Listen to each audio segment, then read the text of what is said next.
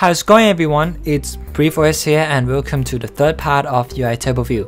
In this part it's going to be pretty exciting because we're now actually going to bring our cell to the table view. So let's start by going back to the very first which is main.storyboard. And we're going to do what we did before which is link our table view to view controller. I'm just going to double click at view controller here. I'm going to arrange them right control drag table view in view controller. I'm gonna name it table view. That's it. Close this one. Bring it back. And yeah, that's it. Let's go to view controller. You can see table view is now attribute of the view controller. And the next thing what we need is the data for house and words. So I prepare for you guys under the description below. You can copy and paste them. So now I'm just gonna create new attribute which is words. Data yeah. And this is for house. It's a list right? And words data. Next let's name our view controller. Self.title equal to UI table view. Next let's say our table view dot data source equal to self. Table view dot delegate equal to self. And I'm just gonna wait for the error. Three two one go. Yeah you can see that we're now asking we're now writing that uh, ourself here which is view controller which is UI view controller to act as the data source and delegate of table view which they are not. They're just UI view controller. We just have to implement two more which is UI table view delegate and UI table view data source. And that's it. We're now ready to manipulate our table view.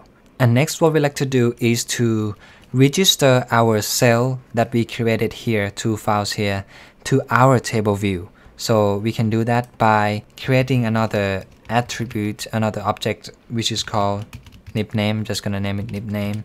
UI nib nib name will be the name of the class, which is table view cell, and bundle equal to no. Right and next is actually gonna register this so table view dot register and nib name which is the cell right? And cell for reuse for identifier which is right? And this is very important because now we're gonna call our table view cell by this name right? So I'm just gonna copy this one go back to our XIB file and then select the whole cell and go back to this inspector here and you can see there's a label for the identifier I'm just gonna paste it here. So table view cell. This must match with what we wrote before. Here. So that's it. Now we just register our cell to our table. Next, we will specify how many cells our table view will contain. So we can do that by this function.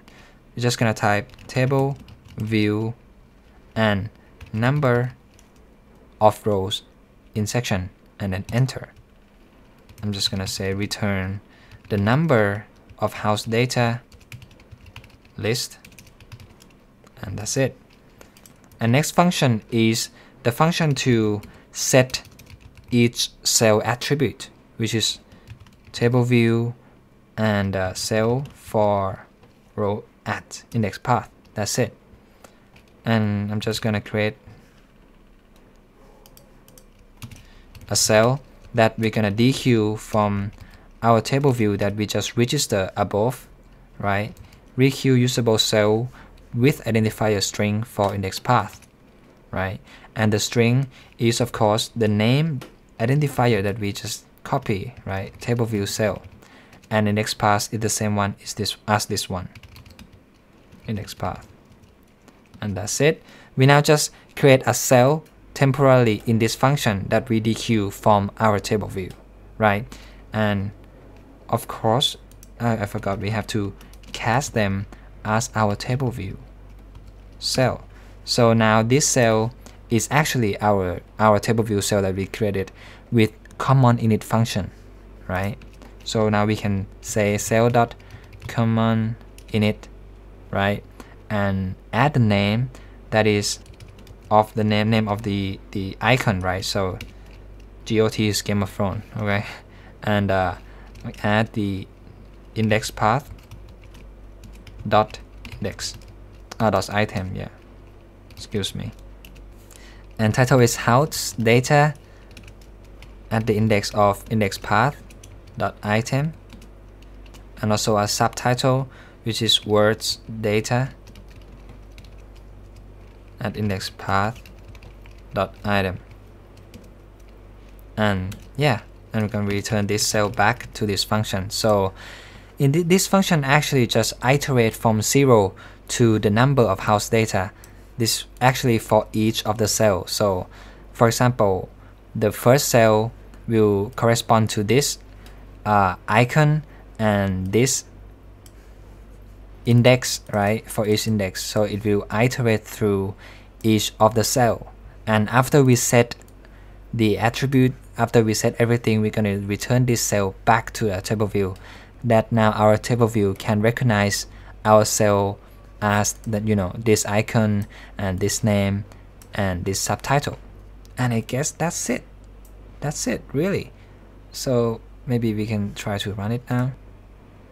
Here we go that's it. It's very beautiful for me now.